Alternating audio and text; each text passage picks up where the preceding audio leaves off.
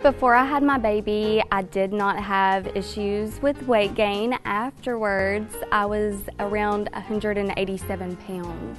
When I first went into Achieve, they gave me so much hope. I felt comfortable and I could see a light at the end of the tunnel.